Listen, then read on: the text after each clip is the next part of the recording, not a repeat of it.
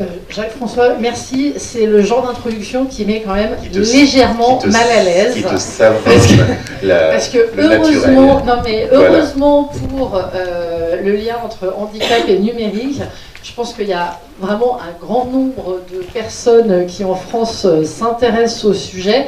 Après, je pense qu'on s'est aussi rencontrés à différentes occasions où effectivement j'avais partagé un certain nombre d'idées. Alors, compte tenu de l'horaire et de la, richesse de, l'ensemble des, projets, des interventions euh, qui vont avoir lieu aujourd'hui, je vais essayer de, euh, faire assez rapide avec euh, une intention qui est vraiment en ouverture de cette journée de pouvoir reprendre à, la base quelques éléments qui me semblent importants quand on pense cette relation entre handicap et numérique. Donc, je vais faire signe, parce qu'il faut que je pense au diapo. Donc, euh, qui je suis? Alors, effectivement, je suis euh, lyonnaise, je suis Stéphanie Lucien-Brun. Aujourd'hui, je suis euh, accompagnatrice de projet et formatrice. Et en fait, j'ai travaillé donc pendant... donc, on peut passer les diapos j'ai travaillé pendant une dizaine d'années dans une structure, enfin dans un centre ressources handicap et numérique qui dépendait du programme France d'handicap international. Centre ressources où on avait une activité qui tournait autour à la fois de l'accompagnement, de l'exploration d'un certain nombre de solutions à la fois technologiques, mais surtout pédagogiques, d'organisation pour permettre l'accès au plus grand nombre euh, des usages des outils numériques, toute situation de handicap euh, confondu, et euh, en lien, en articulation étroite avec cet accompagnement, on a développé aussi un ensemble d'outils de formation pour des professionnels, que ce soit des professionnels du champ du handicap pour qu'ils soient en mesure de s'emparer des, outils numériques, ou des professionnels de la médiation numérique, comme on appelle aujourd'hui le champ de, euh, bah, de l'accès pour tous à Internet, de ce qu'on retrouve dans les espaces numériques, etc. Donc moi, il y a quelques, quelques, quelques points clés sur lesquels je voudrais être explicite dès le départ par rapport au numérique, sur moi, mes postulats de départ. D'abord, je pense qu'il n'y a pas d'outil magique. Euh, alors ça, j'ai peut-être mis longtemps à le comprendre, même si parfois je me surprends à dire ça, c'est vraiment magique. Il y a des effets magiques. L'outil en soi n'est pas magique. L'outil peut être un super outil de compensation. Euh, ça n'est pas forcément un outil de réparation. Il y a des outils de prise d'autonomie fantastiques. Mais en même temps, l'outil, euh, j'en parlerai un peu plus tard, euh, il faut pouvoir s'en emparer, il faut savoir qu'il existe, il faut pouvoir effectivement euh, euh, y avoir accès. Donc voilà, je le l'illusion technologique, c'est moyennement mon truc, même si la technologie est hyper importante. Deuxième chose qui contrebalance un peu. Je pense qu'aujourd'hui, avec le numérique, il y a des, immenses opportunités, des opportunités réelles, et je suis toujours un peu, enfin après, ça fait maintenant 12 ans que je travaille euh, autour de cette question du handicap et numérique, je suis toujours un peu euh, sciée, entre guillemets, euh, de façon très familière, de l'écart qu'il peut y avoir entre la puissance des, dispositifs techniques qui existent et du monde, enfin, de la somme de connaissances que nous avons autour de ce qu'il est possible de faire, de produire, et la réalité d'usage, et euh, finalement euh, la lenteur de mise en place d'un certain nombre de choses. Je n'en prendrai pour exemple que l'accessibilité des sites web, où on sait aujourd'hui ce que c'est qu'un site web accessible, et en même temps le pourcentage de sites web réellement accessibles aux personnes équipées euh, des lecteurs alternatifs, même si cela progresse, on est très très très en deçà de là où on devrait être aujourd'hui. Donc vraiment, il me, semble euh, qu'il reste d'immenses fossés à combler et que voilà, ça c'est pour moi un des enjeux de ce type de journée, c'est comment à travers les rencontres, les projets qui vont être exposés, finalement on va petit à petit combler ces fossés au bénéfice de tous. Un troisième point qui me semble essentiel, c'est que je pense que vous représentez ici une diversité d'angles de vue, d'ancrage professionnel, que vous soyez euh, dans une collectivité territoriale, dans une association, militant associatif, finalement, vous avez tous potentiellement quelque chose à dire autour de cette question handicap et numérique. Vous avez des angles d'attaque qui sont différents et en même temps très complémentaires et souvent, à mon sens, les, beaux projets sont ceux qui naissent de partenariats euh, très forts. Donc on va en avoir des exemples dans la journée. On va se rendre compte que ce qui marche, c'est là où il y a de la compétence croisée, là où il y a de l'échange, là où il y a de la, fertilisation, de la mutualisation. Mais ça veut dire qu'à un moment, on se met en écoute par rapport à, à l'approche de l'autre et qu'on ne la dénigre pas forcément. J'étais un peu provocatrice au début par rapport à la technologie. Oui, il y a besoin de développeurs parce que c'est eux qui vont pouvoir faire des choses, mais en même temps, le développeur, il va falloir qu'il puisse travailler avec une association de personnes euh, en situation de handicap ou des utilisateurs pour comprendre quelle est la réalité d'usage. Euh, et puis, un dernier point de départ, en fait, je vais quand même vérifier parce que si je fais. Euh, dernier point, c'est pour moi aujourd'hui, par rapport à la multiplicité de, l'offre technologique qui existe, comment aussi on, se mobilise pour se réapproprier un certain nombre des dispositifs pour accompagner le développement de technologies qui soient ouvertes. Donc euh, je ne vais pas vous faire une apologie euh, euh, des, logiciels et des contenus libres. Et en même temps, je pense qu'il y a là des enjeux extrêmement importants pour qu'effectivement nous ne soyons pas uniquement dans de la consommation de services numériques, mais que nous soyons dans un processus d'appropriation des outils numériques au service de l'inclusion. Voilà un peu mes, euh, éléments de départ. Je continue sans support euh, visuel. Euh, numérique et handicap. Moi, j'ai un peu cherché et j'essaye de trouver désespérément, s'il y en a un de vous euh, qui l'a, donnez-la moi, je suis preneuse, une définition de numérique. Je l'ai, euh, le numérique comme un langage composé euh, de chiffres et un code. Manifestement, ce n'est pas exactement ce dont on parle aujourd'hui.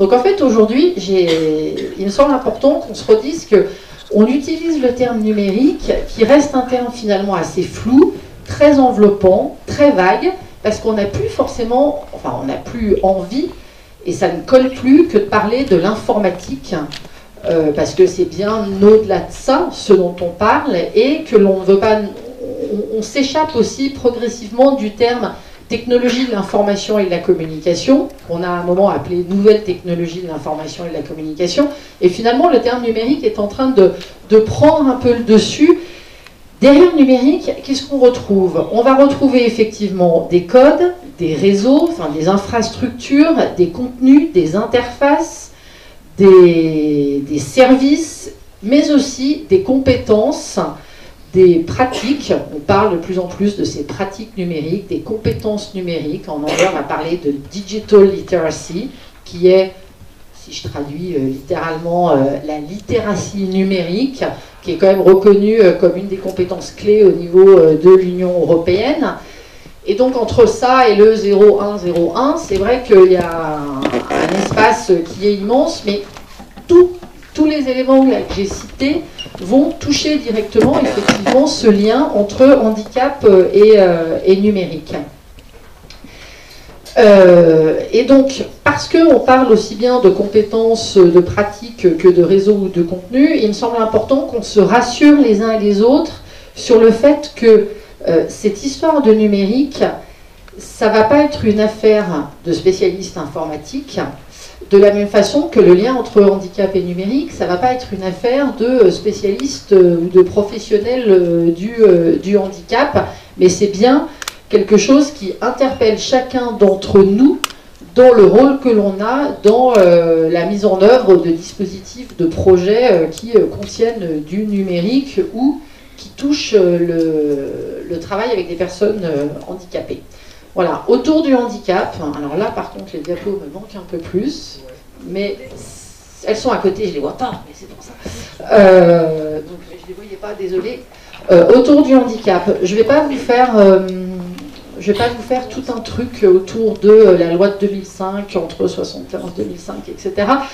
Pour aller à l'essentiel, je voudrais juste vous pointer le fait que la notion de handicap a largement évolué, continue à évoluer, que c'est aussi une construction sociale, cette définition que l'on a du handicap, et que l'on ne parle plus du handicap aujourd'hui en 2013 de la même façon qu'on en parlait euh, il, y a, euh, il, y a, même dix ans.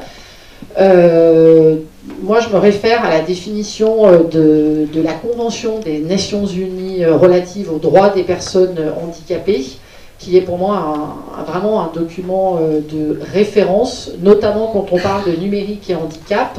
Alors, pour ceux qui connaissent, en France, on a une loi qui a refondé effectivement un certain nombre de choses dans le champ du handicap, qui est la loi du 11 février 2005. Dans cette loi, la seule mention qui est faite du numérique est autour de l'accessibilité euh, des sites web publics euh, dans l'article 47. Euh, si on prend la Convention des Nations Unies, donc qui date de 2006, un an après la loi de 2005, on retrouve, enfin on trouve inscrite dans la Convention la question du numérique dès l'article 4, qui est sur le principe fondateur de l'accessibilité, où effectivement le numérique est très clairement posé comme une des constituantes essentielles de l'accessibilité à tout pour tous. Enfin voilà, donc je vous encourage vivement, si vous vous intéressez à ces questions, puisque vous êtes là, vous vous intéressez aux questions handicap et numérique, à aller regarder d'un peu plus près cette Convention des Nations Unies. Je tiens à préciser, cette Convention des Nations Unies, c'est pas un truc qui s'est bricolé euh, à New York entre euh, trois techniciens qui ont décidé de construire quelque chose qui ouvrirait des droits. Cette Convention des Nations Unies, c'est le fruit d'un mouvement international d'organisations de personnes handicapées qui se sont mobilisées sur plusieurs années pour arriver à poser un certain nombre de principes fondateurs sur l'accès aux droits pour les personnes euh, en situation de handicap, d'où l'intérêt euh, d'y aller. C'est le premier traité international ratifié par l'Union européenne. Euh, c'est aussi une convention signée par la France. voilà. C'est, à mon avis, pour les associations, un outil de mobilisation extrêmement intéressant parce que ça permet effectivement d'aller montrer en quoi, au niveau international, il y a des choses qui sont allées plus vite que là où nous en sommes aujourd'hui en France. Donc, autour du handicap aussi, pour les personnes qui ne seraient pas du tout familières, parce que ça peut peut-être rassurer, donner euh, quelques repères, au-delà de finalement la singularité de l'expérience humaine, hein, euh, à laquelle nous ramène euh, le handicap, qui est notre rapport à l'altérité et, au miroir que cela a fait avec chacun d'entre nous dans, sa vie, dans son développement. Je voulais juste rappeler qu'on considère que, enfin on considère, je ne sais pas qui y a derrière le on, mais on va dire que Familièrement, on va parler de famille de handicap avec donc euh, six grandes familles handicap moteur, handicap visuel, handicap auditif, handicap psychique qui n'est reconnu euh, que depuis 2005 en tant que tel hein, par la, dans la loi de 2005, handicap mental et puis maladie invalidante. Euh, aujourd'hui, on parle aussi beaucoup des troubles des apprentissages, donc tout ce que un certain nombre d'enfants vont vivre comme situation comme difficultés euh, dans le cadre de leurs apprentissages, etc. Donc là, là-dessus, je vais passer, parce qu'on pourra revenir pour ceux qui ne sont pas forcément familiers, n'hésitez pas à venir me, demander, euh, dirai un peu plus en détail. Euh, sur les chiffres aussi, se sont affichés, je crois qu'il y avait un chiffre qui était important, c'est celui des 85% des situations de handicap qui finalement surviennent après l'âge de 15 ans. C'est-à-dire qu'il y a 15% des personnes qui euh, naissent avec euh, une déficience qui va générer un certain nombre de handicaps, mais sinon, c'est vrai que le handicap est quelque chose d'évolutif. Un grand nombre de situations sont évolutives euh, et, donc vont aussi, en fonction de comment on vit, où on vit, évoluer. Donc, pour passer dans, plus précisément au lien entre numérique et handicap, je voulais euh, insister sur le fait qu'on est vraiment dans un, dans un continuum. Euh, on est dans une progression entre des éléments euh, qui sont autant de facettes à explorer et on va en avoir un très bon, un très bon reflet aujourd'hui. C'est-à-dire qu'on va avoir des choses très techniques autour des, des interfaces, des adaptations techniques, des de, la question de comment on accède à un site web euh, quand on a euh, une déficience X ou Y.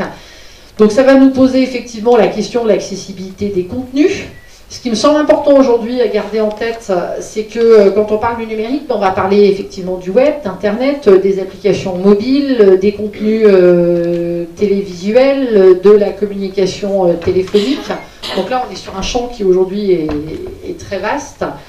Euh, et avec, euh, avec derrière une question forte qui est de comment on va, euh, on va suivre en permanence les évolutions technologiques qui fait que là où on a un gain qui se met en place, le risque est grand qu'avec une nouvelle techno, tac, on revient en arrière parce que finalement c'est une nouvelle barrière qui s'est créée. Donc en ce moment, il y aura des projets qui seront présentés aujourd'hui, il y a effectivement des des choses très intéressantes qui se passent euh, autour euh, des tablettes, mais ça pose aussi plein de questions euh, sur l'ouverture des standards, l'ouverture des contenus, l'interopérabilité des contenus, etc. Donc derrière, il y a d'autres questions qui surviennent.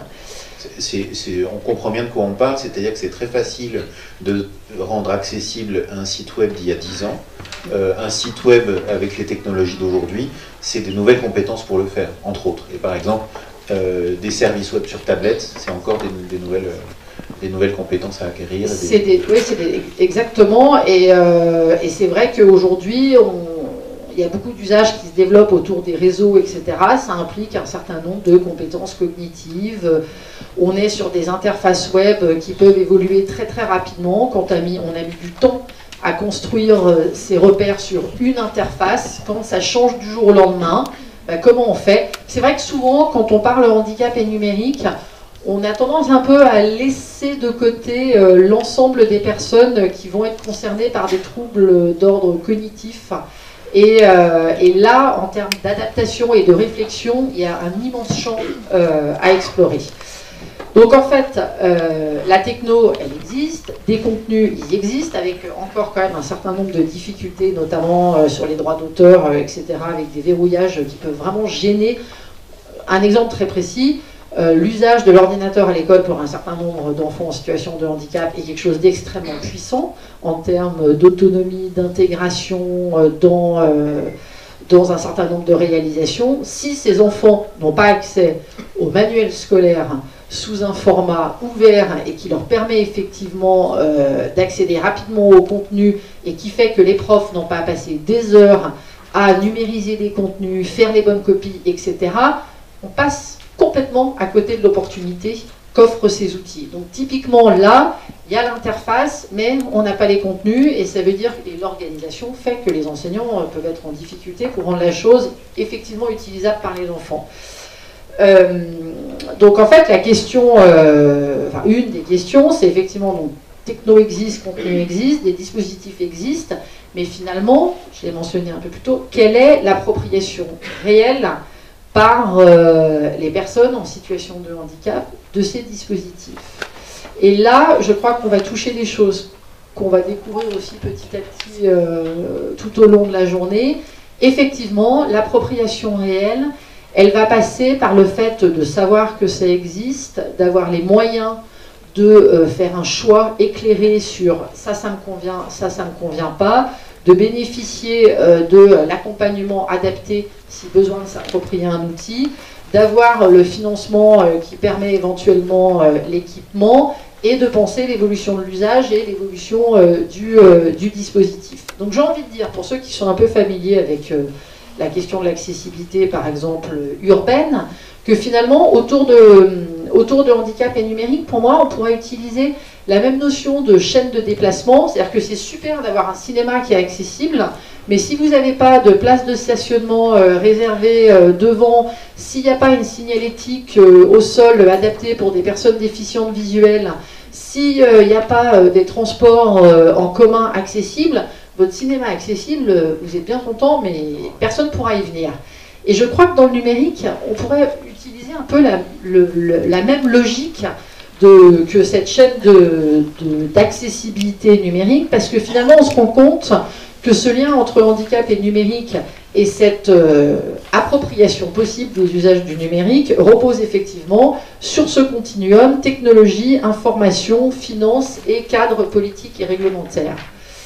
Euh, autre point que je voulais aussi partager avec vous, qui me semble important aujourd'hui, euh, c'est comment on passe du faire pour au faire avec.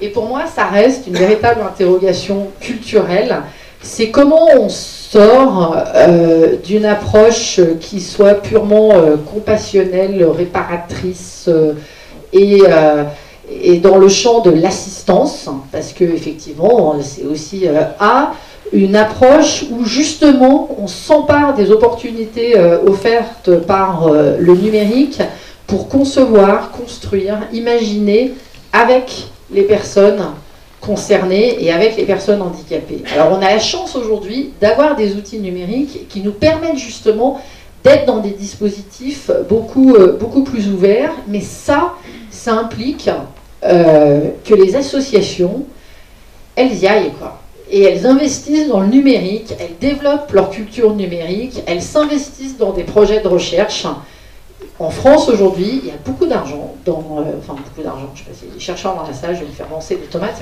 Euh, il y a de l'argent, euh, il y a des projets de recherche, mais il n'y a pas forcément beaucoup d'associations qui sont au cœur de ces projets de recherche et qui permettent effectivement non pas à partir de logiques hyper singulières d'une personne, etc., mais à partir d'approches fondées sur la conception pour tous, etc., de pouvoir effectivement étayer, nourrir, permettre de faire avancer ces projets de recherche pour qu'on passe de l'exploratoire euh, à la réalité, y compris dans les modèles économiques euh, développés, dans la diffusion de la recherche, etc. Voilà, donc moi j'encourage les associations à se bouger pour s'emparer du numérique et aller prendre euh, leur parole là-dessus. Je pense aussi que c'est intéressant et important, encore une fois, de se poser la question euh, du logiciel libre, des contenus libres, parce que derrière, il y a des enjeux économiques extrêmement importants. Quand une collectivité euh, paye X licences d'un logiciel et que l'équivalent de ces licences pourrait être effectivement utilisé pour développer un logiciel libre, euh, et euh, payer euh, des prestations de services à ceux qui, pour derrière, ben voilà, parce qu'il y a un modèle économique derrière, il faut que tout le monde mange. moi, ça m'interroge réellement. C'est-à-dire qu'aujourd'hui, je pense que les collectivités devraient massivement investir dans le champ du logiciel libre pour, développer des solutions qui soient effectivement fiables et qui sont de fait euh, pérennes. Même s'il y en a qui aujourd'hui se, développent. Euh, je voulais aussi insister sur l'importance d'investir les lieux de partage, d'échange, etc. Donc euh, Hugues Aubin va venir présenter ce qui se passe à Rennes. Il le présente super bien, je ne vais pas le faire à sa place, mais je pense que les lieux où effectivement se rencontrent associations, personnes concernées, euh, chercheurs, etc., des tiers-lieux, des lieux où on va explorer ensemble et on va, euh, sont euh, hyper importants. Et puis, voilà, donc là-dessus. Et de. Je vais arriver à mes derniers points, ce qui est à peu près. Donc en fait, ce qui me semblait aussi important par rapport à handicap numérique, et voilà, j'ai 5 minutes qui sont apparues, donc c'est bon. Ce qui me semblait important par rapport à handicap et numérique, toujours dans ce changement d'approche, ce changement culturel, c'est de se dire qu'aujourd'hui, l'enjeu, effectivement, c'est celui euh, de saisir les opportunités qu'offre le numérique pour aller vers une approche euh, réellement inclusive. C'est-à-dire qu'il ne s'agit plus de permettre à la personne de rentrer dans le moule, mais finalement euh, de changer euh, la forme du moule pour que tout le monde euh, y trouve sa place. Donc j'ai pas retrouvé, mais j'ai un petit. Alors je sais pas si vous êtes familier ou pas avec la notion d'inclusion, mais je vous encourage à aller jeter un œil là-dessus parce que ça nous oblige à, reconsidérer la façon dont on, considère effectivement l'altérité. Donc l'inclusion, ça implique un travail effectivement sur le cadre de développement des technos. Donc là, bon, j'ai pas le temps, mais il y a aussi des choses qui qui évolue quand même avec euh, toute euh, l'approche euh, design for all, enfin conception pour tous, hein, où on est bien dans une approche inclusive. Ça implique aussi un travail sur le cadre politique. Là, je pense que ça se passe au niveau européen, ça se passe au niveau français. il y a aussi pour les associations là, un champ à investir. Ça passe aussi beaucoup par la formation. il manque encore dans les cursus prends un exemple un très concret. Il y a beaucoup d'écoles d'ergothérapeutes qui ont inclus aujourd'hui effectivement euh, des choses autour du numérique, mais ce n'est pas forcément le cas dans des écoles d'orthophonistes, etc. Alors que finalement, le nombre de professionnels divers et variés, les webmasters, euh, ils n'ont pas tous euh, un cursus autour des standards d'accessibilité du web. Enfin voilà. Alors qu'ils sont concernés à un moment ou à un autre par le fait que le numérique soit effectivement accessible et puis effectivement sur le cadre, euh, sur le cadre économique. Donc, je vais conclure en vous disant avec un dernier point qui est sur euh, déjà si on est dans enfin arriver à une société inclusive je pense que ça relève un peu de, de l'utopie je pense que c'est les utopies qui nous font avancer euh, ce qui me semble très intéressant autour du handicap toujours dans ce changement de, nos représentations mentales, c'est de se dire finalement, si on passait d'une logique d'assistance à effectivement euh, à regarder les choses sous l'angle du levier d'innovation que représente euh, le handicap. Et là, normalement, j'ai des petites diapos avec des petites photos. Toutes pourries, d'accord. Donc en fait, Donc, il y avait euh, une, première petite photo avec une dame qui fait de la sténo en 1880, je crois, ou quelque chose comme ça. Et c'est une dame déficiente visuelle qui, en fait, utilise un système. Donc, on n'a pas attendu 2013 pour se dire qu'il y avait quelque chose d'intéressant autour des technologies qui, là, ne sont pas numériques. Hein, mais analogiques, euh, et euh, le pouvoir de, enfin, participation, d'accès au travail, etc.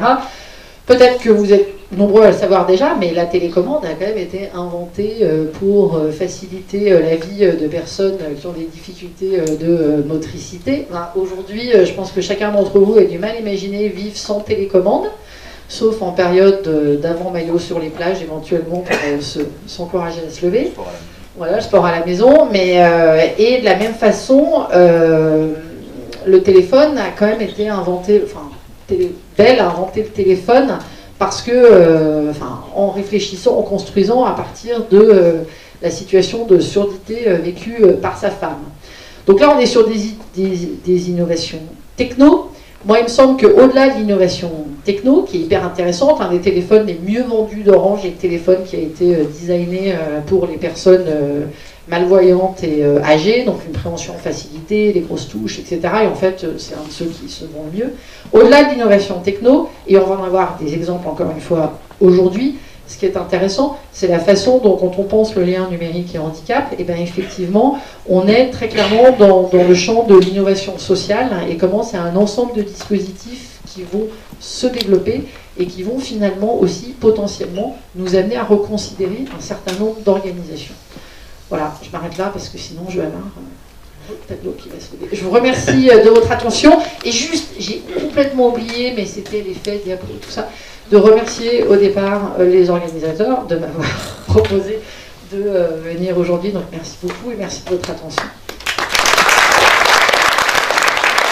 Merci à toi.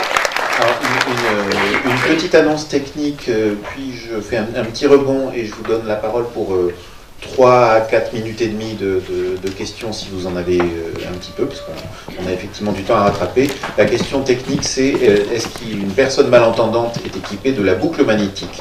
Euh, L'équipe de Jean Villard voudrait s'assurer qu'elle est bien réglée. Donc dans ce cas-là, merci de, le mentionner, ça aidera. Euh, petit, rebond, d'abord je pense que, euh, grand merci, euh, tu as placé un cadre y compris sur les compréhensions du numérique. On est ici dans une salle dans, dans laquelle on est en communauté apprenante. Certains d'entre nous vont être très experts sur certains champs numériques, d'autres sur certains champs du handicap, d'autres sur l'action publique ou l'action associative. Mais personne ne sait tout, donc considérons-nous tous comme débutants. Et c'est extrêmement important ce que tu as dit sur la, diversité des angles qui, font, qui fait les, les bons projets. C'est une, une, première chose que je voulais souligner. La deuxième chose que je voulais souligner, dans les derniers points que tu as mentionnés, je pense que c'est une chose importante autour de cette idée d'accès, d'inclusion et euh, de l'image que tu, as, tu avais montrée euh, qui, allait de, en gros de l'accès à la conception et à l'empowerment, euh, c'est le fait de dire on est en train d'essayer de créer de la capacité et on est dans un champ d'innovation. et dans les champs de l'innovation sociale numérique, on n'est pas en train de parler de la voiture balai du numérique. On n'est pas en train de se dire oh là là, il y a des tas de gens qui sont en retard et il va falloir les faire entrer dans le numérique. C'est un petit peu le contraire. Euh, dans ces champs euh, des, sujets les plus complexes de la société, c'est la voiture de tête. C'est-à-dire que c'est les champs sur lesquels euh, les potentiels d'innovation sont les plus élevés. Et les champs qui devraient exciter et focaliser les plus grands efforts d'innovation, parce que si on le fait dans les champs du handicap, si on le fait dans tout un ensemble d'autres champs euh, où les, questions sociales sont délicates, eh ben, va en tirer, on va tirer derrière euh, tout un ensemble de, possibilités pour tout le reste de la société. Donc c'est un renversement de perspective très important. On a souvent l'impression, voilà, euh, le mode compassionnel que tu mentionnais est, significatif par rapport à ça. On a souvent l'impression de, de, faire les bonnes œuvres quand on, s'attaque au sujet complexe comme le handicap. C'est le contraire. On fait des choses qui, euh, qui, au contraire, sont la locomotive pour tout le reste de la société. Et juste une touche linguistique. Euh, ceux qui ne sont pas familiers avec le terme empowerment, euh, on peut utiliser pouvoir d'agir. Et comment finalement, c'est vrai que j'ai oublié qu'il était là-haut, comment on développe le pouvoir d'agir des personnes, à la fois sur leur propre parcours de vie et sur l'environnement dans lequel elles évoluent. Et même sur la conception, tu l'as bien montré avec le euh, les, approches du design, de la conception, etc. On est vraiment dans un des champs emblématiques dans lesquels la conception se fait avec les bénéficiaires des dispositifs. Donc euh, arrêtons d'avoir de l'innovation numérique qui invente des besoins. Il y en a suffisamment dans notre société euh, si, les innovateurs. Et puis je pense qu'il y a un dernier point, c'est tu as appelé à, des efforts avec la recherche. Aujourd'hui, pas grand-chose dans les, efforts d'innovation ou les efforts de recherche euh, pas grand-chose euh, pousse à, la recherche collaborative. C'est-à-dire qu'on finance la recherche pour elle-même euh, au lieu de financer, comme ça se fait à de rares endroits, des, projets de recherche qui sont des alliances entre acteurs de la recherche, acteurs de la société, par exemple dans, des champs comme, ceux qui nous occupent aujourd'hui. Donc si par hasard il y a un conseil régional, des universités, des gens comme ça dans la salle, euh, reparlons-en, c'est des sujets qui sont vraiment actionnables. Grand merci. Euh, si vous avez maintenant euh, une, deux, trois questions à Stéphanie Lucien Brun, c'est le moment. On va vous passer les micros.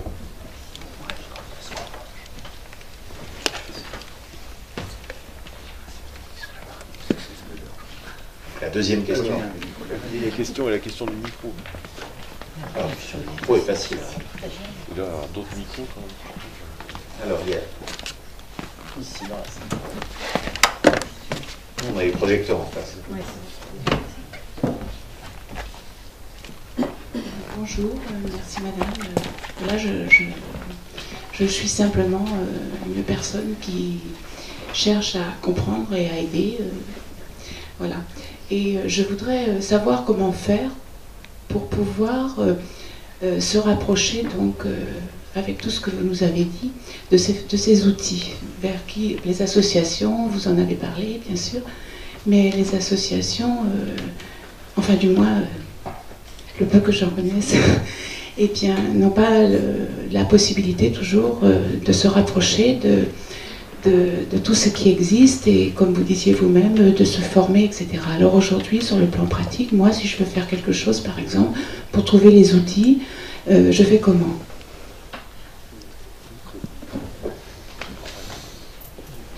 Alors, euh, ça va dépendre des outils dont vous avez besoin. Euh, je pense qu'il y a deux réponses. Il y a déjà un premier débroussaillage, entre guillemets, qui peut se faire euh, via le réseau, via Internet, puisqu'en fait, il y a beaucoup de contenu. Mais je suis d'accord, c'est pas simple, loin de là. Après, je pense que c'est vraiment important, intéressant. Alors, je ne sais pas où vous habitez, je ne connais pas suffisamment la configuration géographique de la Bretagne, mais il existe quand même en France euh, un certain nombre de lieux qui sont des lieux ressources où on va pouvoir trouver des ressources du plus simple au plus compliqué. Du plus simple, vous avez en France euh, et en Bretagne, il y en a beaucoup, 4500 espaces publics numériques. Un certain nombre d'acteurs de ces espaces publics numériques sont aujourd'hui présents dans la salle. Il y a des professionnels de la médiation numérique ou de l'animation numérique qui sont présents dans la salle. Et en fait, ces professionnels, même s'ils ne sont pas familiers avec euh, les besoins, les situations que peuvent rencontrer des personnes en situation de handicap. En revanche, ils sont familiers avec le numérique, ils sont familiers avec la recherche d'infos. Normalement, ils connaissent un petit peu leur territoire de proximité et ils peuvent effectivement, petit à petit, en fonction des besoins, euh, arriver à identifier où peuvent être les ressources appropriées. Euh, Raphaël va présenter son projet dans la journée. Typiquement, pour moi, c'est une ressource importante sur le territoire, parce que son boulot, c'est... Euh, enfin, je ne vais pas parler de son boulot, il en parlera mieux que moi, mais euh, voilà, en fonction des besoins que vous, avez, il va pouvoir vous aider à, à, identifier où vous allez trouver des réponses adaptées, sachant que je pense qu'il n'y aura jamais de réponse clé en main et que la construction d'une solution adaptée aux besoins euh, par rapport à la situation que vous rencontrez, ça va être un puzzle où le, les pièces vont venir s'imbriquer pour créer quelque chose de cohérent euh, dans, un échange avec euh, différentes personnes ressources. C'est-à-dire que les clés, elles sont souvent multiples et c'est effectivement souvent un travail exploratoire je suis d'accord avec vous, ça reste très compliqué, malgré la diversité des contenus, des ressources et tout, ça reste compliqué souvent de construire quelque chose d'individualisé, de personnalisé. Il existe aussi quand même un certain nombre d'associations où il y a des savoir-faire qui se sont développés, et donc bah, il faut aller euh, interpeller, euh, demander, aller et du côté médiatique numérique et du côté association euh, du handicap. Oui, je, vous remercie, ça répond pas mal à, la question que je me posais. Je voulais savoir s'il y a un représentant de la FTC ici, l'Association des traumatisés crâniens. Dans la salle Parce que moi je viens de Brest et euh, je suis confrontée quotidiennement donc à un handicap particulier. Alors, par rapport à la FTC, je ne sais pas s'il y a quelqu'un dans la salle. Je sais qu'au niveau national, il y, a, des, personnes qui s'intéressent au numérique. Donc, il faudrait poser la question éventuellement euh, à Paris pour la FTC. Et sinon, à Brest, mais venez me voir, je pourrais vous donner le nom de personnes qui ne travaillent pas euh, forcément euh, avec cette situation de handicap spécifique, mais qui néanmoins peuvent vous aider à identifier à Brest des lieux ressources où il y aurait des professionnels qui pourraient penser effectivement les bons, les bons outils. Parce qu'encore une fois, je pense que l'outil n'est pas forcément directement lié à une situation de handicap. Enfin, il y a des choses très transversales. Mais euh, déjà, savoir, euh, malgré les recherches, euh, c'est vrai qu'il y a d'autres personnes certainement qui doivent se trouver dans le même cas. Vous l'avez bien expliqué, la complexité. Je vous remercie beaucoup.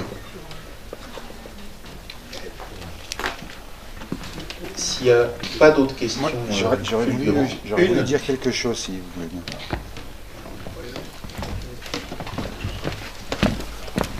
Moi, je voudrais juste dire qu'en tant qu'entreprise, il est également très difficile d'établir du réseau avec les usagers, utilisateurs, personnes intéressées, qu'il est très difficile de faire du réseau avec les systèmes, je dirais, publics, euh, politique, représentatif, parce que lorsqu'on est une entreprise, il faut gagner sa vie, et on n'a pas le temps d'aller à des réunions qui durent des heures tous les deux jours, c'est pas possible, parce qu'autrement, on, a, on a un gros problème, parce que vous parlez d'associations, moi j'ai l'expérience américaine quand même, où je vois qu'il y a énormément d'entreprises dans le champ du handicap, et, grâce au numérique, et euh, la difficulté qu'on a, c'est de vraiment la grande difficulté, c'est de créer du réseau et d'éviter ce que j'ai envie d'appeler les usines à gaz qu'on a tendance à fabriquer facilement en France. Et il est très difficile dans le milieu de l'entreprise de développer euh, de l'assistance, de l'aide, des, systèmes, euh, je veux dire des systèmes euh, importants de l'autonomie ou de l'inclusion. D'accord. Message reçu. Je pense qu'une une, partie des deux questions et des préoccupations qu'on peut avoir, on va passer maintenant à la, séquence suivante, mais une partie de, des réponses à ces questions sont dans des journées comme aujourd'hui où on fait se croiser euh, beaucoup de réseaux différents. Une autre partie sont parfois dans des, dans des lieux ou des structures euh, d'appui euh, qui font levier sur le numérique. Hein. si on prend l'exemple de Rennes et de Brest en l'occurrence, il y a des associations qui aident les associations puis il y a des moments qui sont des moments de rencontre, qui sont en fait des moments de gain de temps invraisemblables. Et puis il y a des espaces en ligne qui permettent une continuité de la conversation entre les moments et entre ces relations-là. C'est ce type de maillage qu'il faut arriver à faire et qui, euh, au fond, euh, tout, le monde est sous contrainte de, temps, de disponibilité de déplacement, etc. Donc essayons de cristalliser autour de cette journée euh, des, fils qu'on va pouvoir tirer pour la suite et pour euh, permettre effectivement à des projets d'émerger euh, et, dans, des conditions euh, faisables. Merci beaucoup Stéphanie, on se retrouve au de la journée. Je vais maintenant demander